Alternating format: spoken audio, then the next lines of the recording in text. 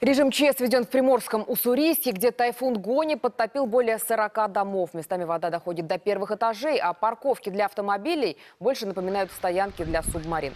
Те, кого стихия застала на дороге врасплох, добираются буквально вплавь. Движение в городе затруднено, вода скопилась в туннелях. Из-за разрушения моста невозможно проехать к двум селам, где проживает более 400 человек.